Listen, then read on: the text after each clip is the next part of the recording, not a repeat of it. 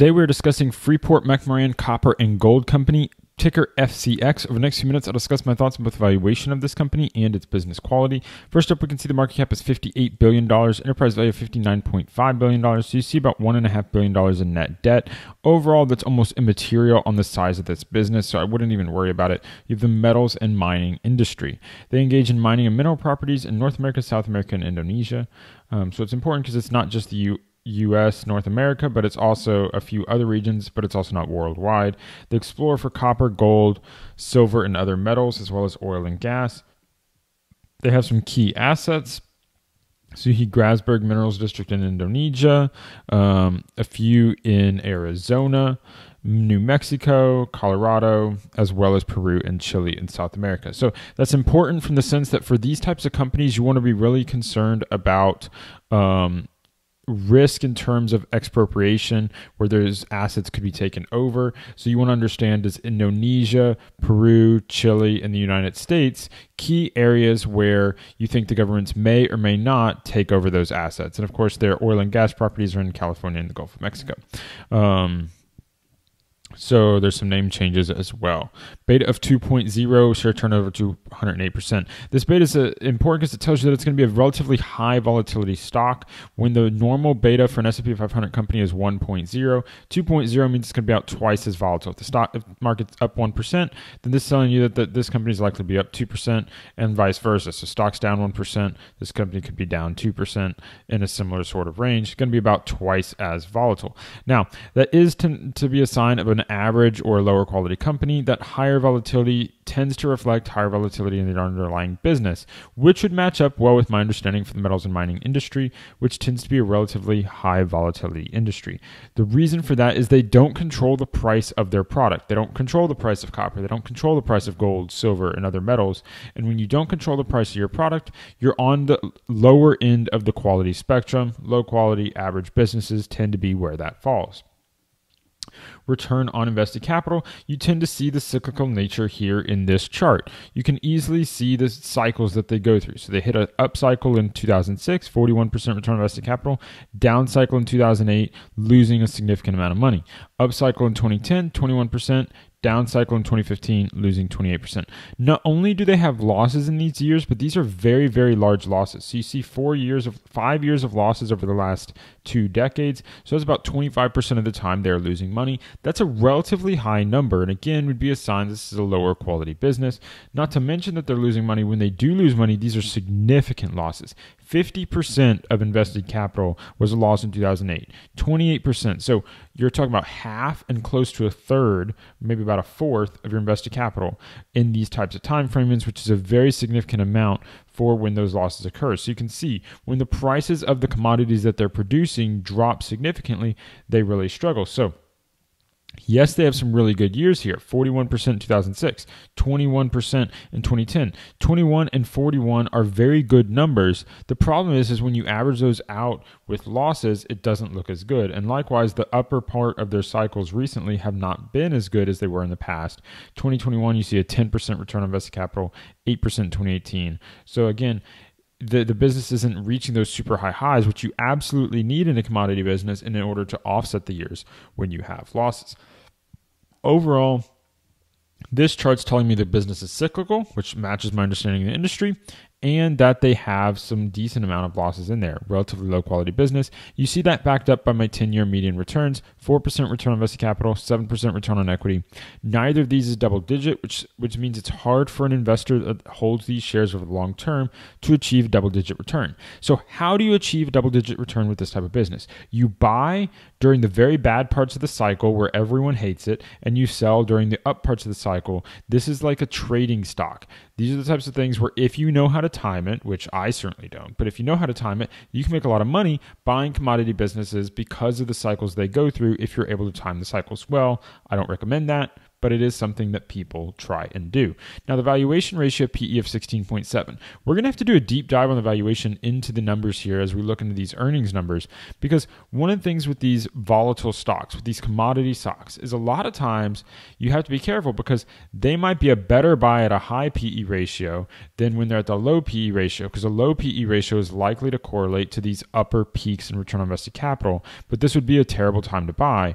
A lot of times you're going to have a low PE ratio when you buy during the low parts of the cycle, and then or you're going to have a high PE ratio in the low parts, low PE ratio at the high parts, and so it kind of goes against your natural inclination. So 16, normally I'd say, hey, PE of 16 is pretty reasonable price. With the cyclical business, you have to be a little bit more careful.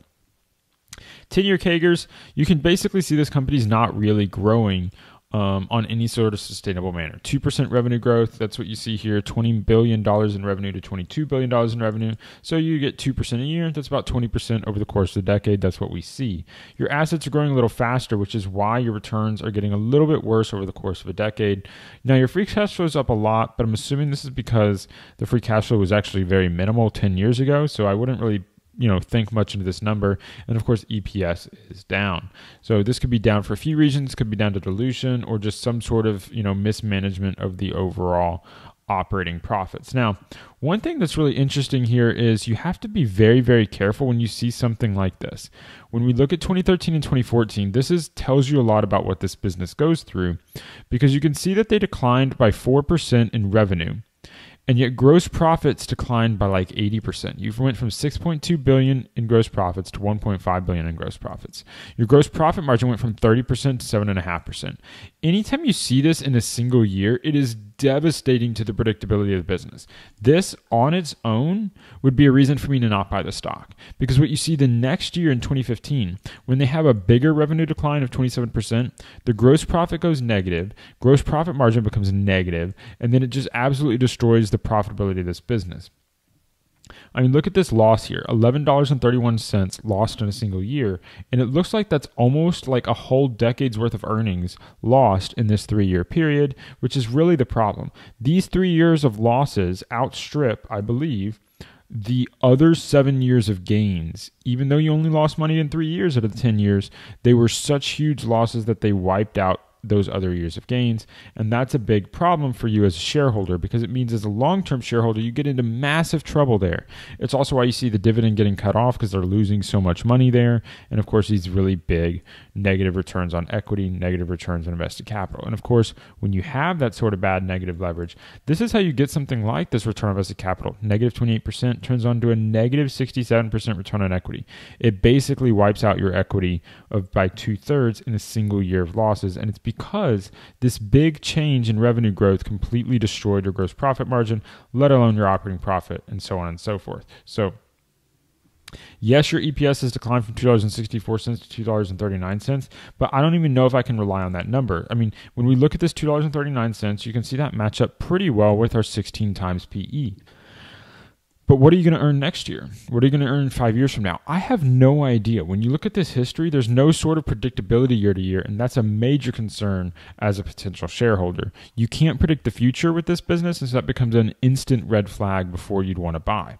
Now, um, let's go on to the income statement next. If you're enjoying this video, if you're learning something, please hit that like button. You don't have to like the stock. It's about learning, education, trying to understand how to evaluate these businesses. And in this case, we're really trying to look what are these red flags because you are going to want to be able to do this yourself, understand what not to buy. So, income statements. Again, anytime you're seeing this flip of negative gross profit margins, again, I like to have companies that are profitable on a net income basis every year. But even if they're not profitable on a net income basis every year, they better be profitable on an operating gross profit basis. Once you start losing money on a gross profit basis, that's a really big red flag. You have two years here with negative gross profits. So here you see that in 2014 they had positive gross profits, positive operating profits, and then you know they end up in negative net income because of interest and other things. But they still had that positive gross profit. But 2015 and 2016 are the big problems because if you have negative gross profit margins, all of your SG&A is going to do, all that headcount, all your employees are just going to send it even worse. You're going to lose even more money. All this interest expense can't be covered, losing even more money, et cetera, et cetera, down the line, and that become, can become a major problem. One of the things I mentioned at the beginning is like, okay, so why did the EPS decline even though our revenue is up 2% per year? And it's because of dilution. You can easily see here that you started with a billion shares outstanding, you end with 1.4 billion shares outstanding. So you see about 44 to 45% dilution over the course of a decade. That's going to add somewhere between 3 and 4% per year of negative growth to your operating line. So, like if we say, okay, revenue, 2.5% becomes negative 2.5%, that's about your 4% difference there. You can completely cover the difference between your revenue growth and your EPS growth simply by the dilution we're seeing on the income statement line. That's why we keep doing these analysis even when we know this isn't really a business that I'm interested in, it's not going to be on my watch list. There's still more you can learn from doing these deeper dives. Let's go into the balance sheet now. One of the things we mentioned is there's not a lot of debt here, which is interesting because you do see debt on the balance sheet. It looks like they've been paying it down decently over the course of the decade. I do like to see that they've paid down this debt. You can see that although they had $37 billion in debt or liabilities at the beginning, you know, in 2013, they got it back down to 26 billion, you know, 9 billion in debt over the course of the decade. So it is good to see that they've brought down some of the risk by, you know, selling back that debt. Now I said though they only really have one and a half billion dollars in net debt, and that is because they have this eight billion dollars in cash and equivalents. So the debt picture doesn't look as bad as it would seem because they have all that cash to offset it. Ideally, I'd like to see the debt kind of eliminated. A cyclical business, debt can be really, really detrimental for them because what happens in those years that you have your negative gross profit, you can't even cover your interest expense. It introduces the impact of potential default. This would be a much safer business if it was run with no debt. And so I would hope that the management would work towards paying off that debt and just running it without debt in the future. Still going to be a rough business business, but that eliminates one of the major risks for shareholders in a company like this, which would be default and bankruptcy. And you don't want that as a shareholder because it wipes out your equity. Um, yeah. Okay. So let's go to the cash flow statement. Uh, depreciation. One of the things here is you see depreciation is much lower than all your PP&E. Maybe not all your PP&E. You had some early years here. Um, let's see. Let's look at this six-year period, 2016 to 2011 or 2021 you can see that depreciation is actually higher than your PP&E in some years, and then it kind of offsets and bounces around. That's a good sign. It means they're not like overspending one way or another. Maybe they're being less capital intensive in the future. It means some of this, you know, excess spending on assets, which you see here with this assets growing faster than revenue, may turn around in the future. Um, maybe they've gotten some discipline in the last 10 years that they may not have had at the beginning of the last 10 years, and so that might could be a better situation um, from a cash flow perspective. Looks like they had some acquisitions here. You can see they're taking on this debt. They are issuing stock a few times, uh, and there's no sort of sign of steady buybacks or anything like that. Um, you do have buybacks the last two years, so that is a little curious. Um, again, I, I, don't mind buybacks, but I would really like the debt to be paid off first. It's just such a big risk in this business. Um, you can see the cash from dividends bouncing around so much, not very predictable. That lack of predictability is a big red mark for me because it means to me that's not something I'm going to want to invest in. So, overall, Freeport, uh, McMoRan, Copper and Gold, ticker FCX, for me is a pass. It's not going to go on my watch list. Why is that? One, cyclicality. Two, you have five years of losses in the last 20 years. That's simply a sign of a relatively low quality business. Your 10 year median returns are too low, they're below 10%. That's not good enough for me. I really want my revenue and EPS growth to be approaching the 8 to 12% range, and you're at a negative EPS growth the reason for the negative EPS growth is you have 4% dilution per year. Again, that's really high um, and becomes a major damper on your, your business.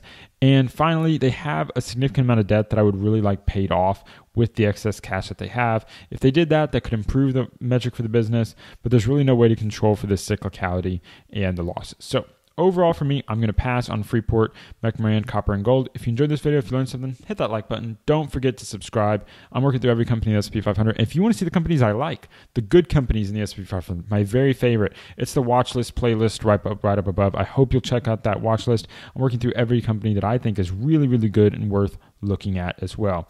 And if you want to learn how to use software like this, this is quickfs.net. The f- link is in the description below. That's my affiliate link. Please consider using that link to sign up. It's a great way to support the channel, and I can get a commission for sending you over there. And this is the software I use every day to analyze stocks. Thank you for listening. Until next time, stop paying fees, start building wealth.